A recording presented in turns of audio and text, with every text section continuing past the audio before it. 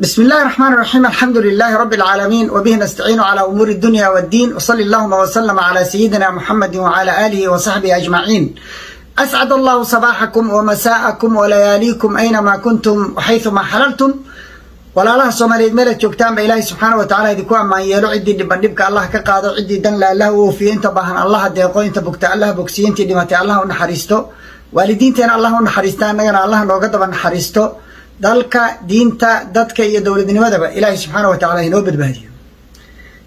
Dhowr qodob baan ka hadlayaa.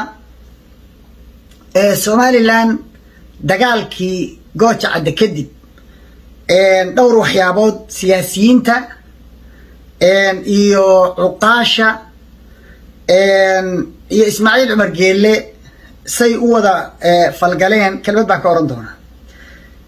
Xildhibaan abiib iyo reerkiisa ama beeshiisa siyaasiyiintoodii sida axmed samatar iyo iyadana kelmad baan ka oran doonaa. Shacabkii reer somalilan iyo culimadoodiina kelmad baan ka oran doonaa. Qodobka ugu dambeeya xasan sheekh maxamuud iyo twitter spacekii uu qabtay talooyinkii la siiyey qeybo ka mid ah iyadana kelmad baa ka oranay gooja cadde markii lagu guul daraystay ciidankii qarankana gacanta lagu dhigay. Kulligiisna laga dhigay wax la qabtay iyo wax la gubay iyo wax baxsaday iyo nin la dilay iyo nin xiran iyo mid weli duurka laga raadinayo. Oo ilaa iyo haddeer in badan oo ka mid ay ay duurka ku abaadeen oo ku jiraanoo shalaydan nin laga soo helay sideed cisho god ku jiray iyo haw ayuu ismaaciil cumar geelle arrintaa aada uga xanuunsaday. Caddaymihii inuu dagaalka ku jirayna laga soo helay gooja cadde waxa uu isku dayay inuu muuse badbaadiyo. Waxayna u eg tahay inay wuxuun ka shaqeeyeen iskudaygaas labadii nin ee mucaaradka ahaa aragtida siyaasaddu ninka aad isku haysaan kursiga haddii uu kuu dhaco lama badbaadiye waa la dul maraa.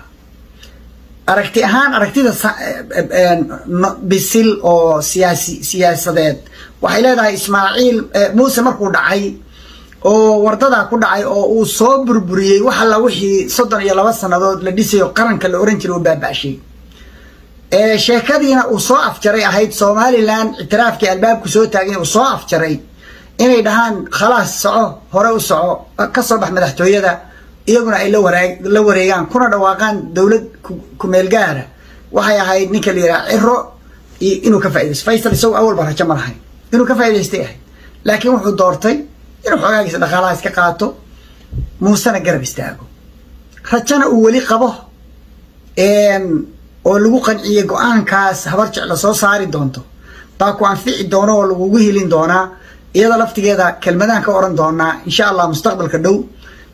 Madaxweyne ay dhici karto xisbigiisa inuu haro isaguna guulaysta. Wuxuu noqon doono waa siyaasad cusub oo u baahan siyaasiyiintu bal inay ka sheekeeyaan. Lame dark nin siyaasiyo nin madaxweyneha oo aan xisbigiisii guulaysan ila xisbigiisii tartan buu galayahay muuse wuxuu bixiyey ismaaciil wuxuu bixiyey lacagaadu badan. Raggaa waa gadmeen.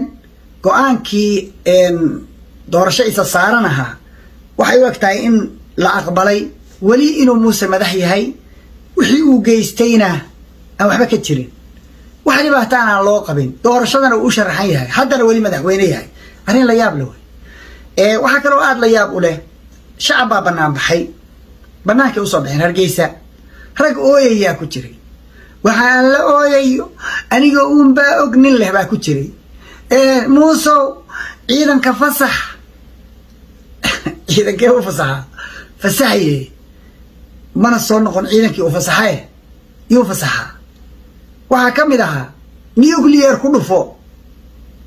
Waa dhici kartaa yacni been sidii loogu gurayey oo loogu gurayey oo waxaan xasuustaa. Isagoo dhowlatus maraya maalinta eighteen may oo daroon feeg ah oo xaashiyaa u sawiray waxaa dhici karta inay u qaateen run inuu darooma leeyahay inuu nuclear haysto inuu wax ku dhufan karo. Qaarku inay daacad ka taa laga yaabo fastakhafa qawmuhu fa ataacuuh nimanka qooqaaga la yidhaha taaqiyada ah dabeecadooday ka mid tahay. Waxaan weli la yaabanahay shacabkaas intaa tirada la egoo saa u ooyayo qaylinaya. Waxaa ka mid ah hadalladoodi garoowe war waxa hadda aada la soo jabteen soo dulmi iyo gardarra maahan garoowe maxaa idiin yaal? Ma idinkaa degan. Mase garowe dadka jooga waxaad u qabtaan inay baruura gacmaha ku haystaan oo aysan iska kiin dhicin karin. Ceebtii idinku dhacday iyo fadeexaddii idinka raacday kibirka weli waxba kamaydnaan baran miya. Aawa shacabkii kan cadili lahaa oo ka hor imaan lahaa oo dhihi lahaa beentooda wey waxna kama jiraan. Nagala taga dabdarada aawa dadkii caqliga lahaa. Markaan leeya alaysa minkum rajulun rashiid dhowr nin oo siyaasiyiin oo jamaaca shabeeliya ka mid yihiin oo hadlay oo yidhi ninkii laba cisho ka hor markii uu soo jabay inuu weli kursiga ku fadhiyo waa dembi labaad oo laga galay qaranka iyo ummadda somalilan. Warkoodii wax ka hoos qaado shacaba oo arrintaa iyo fikirka iyo caqliyadaa qabaa ma jiraan shacabkaanse dhallinyarada ah gabdhahan farabaxsan iyo ooyaya oo qaraacanka ah oo le garowe garowe aan u farabaxsanaynaa garowe adeer maxaa idin yaal? Maxaa garowe idinkaga maqan oo xoola ah? Dhul iyo degaan iyo iyo xoolo iyo waxba idinkagama maqna. Maxaa u rabtaan dagaal labaad? Oo ay dhici karto haddana inaad ku jabtaan oo ku hogtaan oo ku ba'daan. Maxaa maxaa u rabtaan? Waay muuse ciidanka fasax. Maxay tahay ciidanku fasaxayo? Nuclear ku dhufo ya really? Hadduu haysto marka waxaad haddaad adigu gacanta ku hayn lahayd nuclearka waad ku dhufan lahayd waxaasi waxyaabihii kibirka iyo dabdarada iyo qooqa ahaa ee aad ku jabteen weeye mar dambe ha ku noqonina joojiya miyirku ha idiin soo laabto. Waalibaad ku jirtaa nooc waalida ka mid a oo syndrome ah oo aan la garanayn oo aad caashaqdeen waxaan jirin. Waxaan jirin baad caashaqdeen oo beena. Soomaaliya way guulaysatay jabka uu muuse jabay bay ku guulaysatay. Maxaa yeeley waxaa meesha ka baxday waa go'aynaa iyo ictiraaf baa albaabka soo taagan. Qadiyadaas horta intaasan ka oranaya go'aankii ay soo saareen odayaasha habar jeclo. Si loo fuliyo habar yoonis iyo garxajis looga dhaadhiciyo caddo gude iyo suldaan madar laba milyan oo dollar bay dahabshiil ka qaateen maanta. Ma shaqayn doontaa? Gacan libaax shan beri bay u qabteen in laga soo dejiyo. Shantii berina waa dhammaatay mana soo degayna yidhaah lacagtaani ma shaqayn doontaa oo ma la soo kala furfuri doonaa ma soo degi doonaan dadka garxajis ka soo horjeestay ee odayaasha siyaasiyiinta ah iyo cuqaashu ay ka mid yihiin hadlay ee babliga u hadlay. Ma gadmi doonaan mise way iska diidi doonaan anigu ma garanayo balse waa arki doonaa waxa ka yimaada.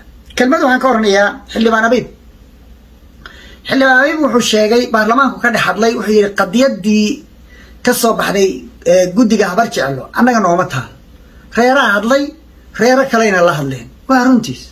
Maxaa loogu buuqay oo baarlamaanka loogaga qayliyey isagu reeruu matala reeraha uu matalana hawshaas uma taalo waxna lagama weydiin talana kuma ay lahayn. Siyaasiyiintooduna isaga uu ka mid yahay axmed samater uu ka mid yahay waxay dhaheen waxba nagama khuseeyaan waxaa laga tegay bay dhaheen qadiyadii la oran jiray qaran iyo dowlad. Waxaana loo gudbay qabiil iyo faamiliya tashanaya. Annaguna taayadan gaar uga tashanaynaa. Xildhibaan abiib waa nin geesiya waana nin runta dhihi kara. Kelmadda xaqa ahay taa wey anigu haddaan baarlamaanka fadhiyo.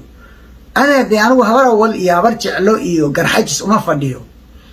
Waxaan u fadhiyaa qolo samaroon la yidhaahdo mana ay shuqul ku lahayn waxna lagama weydiin. Ma garanaysaa go'aankii ka soo baxayna nooma nooma yaalla namana khusey warkaas war cad weeye waana war uu xaqu leeyahay. Baarlamaanka rag baa waxay u fadhiyaan inay muuse ka difaacaan. Laakiin aragti ay gadaanna aan hayn wixii dhacayna aan sharixi karin wuxuu yidhi kelmaddu isticmaalay waxay ahayd soddon sannadood wixii la dhisayo ciidan ahaa wuu soo afjaray muuse kow labo wixii uu ku doodi jiray oo ahaa xuduud haltaa ka ah way dhammaatay sheekadaasi oog baa la wada joogaa. Intii sool ahayd oo dhan waa go'day maxaa ku xiga waxaa ku xiga dee way tashadeen reerkuye. Annaguna waa tashanaynaa taayadaanu ka tashanaynaa annagaa reerka yaga u talin doona oo meeshay aadayaan ka tashan doona dadkaas marka taladaas ra'yigaas ninkaas hadalkaasi geesinimada leh in lagu handado iyo in loogu dhaarto iyo in lagu soo farabaxsado midna xaq looguma leh. Waana wixii keenay wixii ka dhacay sool gardarradaasay ahayd iyo ixtiraam yarida iyo baarlamaan been ah oo aan run loo wada joogin codkana aan loo sinayn kelmaddaasna intaasaan ka oranaya